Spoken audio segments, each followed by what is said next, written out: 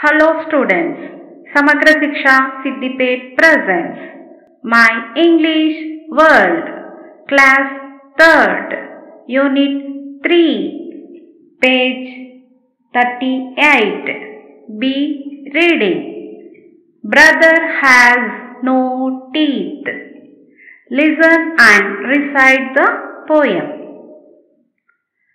Sita's brother loves sweets more than carrots and beets.